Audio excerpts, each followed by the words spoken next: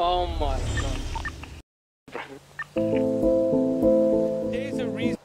Hold on. The dude that stole our weed just called, I think. Uh, oh no, he didn't, man. Listen, listen, listen, listen, listen. I want to send him a message and make a drill song with him, like some, like, some I absolute took madness, something to a message. like absolute, like, sent or something you know like what I'm saying? Like I'm super that. If I dumb. don't know who the f- sender is, But as of right now, I cannot think of that, man. The boy Rated, man. He is a real one, you know. There's like a handful of people that I think are a- actually real people, bird. man. You know what I'm saying? Like the real ones. You know what I'm saying? He's definitely one of them, man. What But yeah, beast, you know, you know, we'll see in the future, man.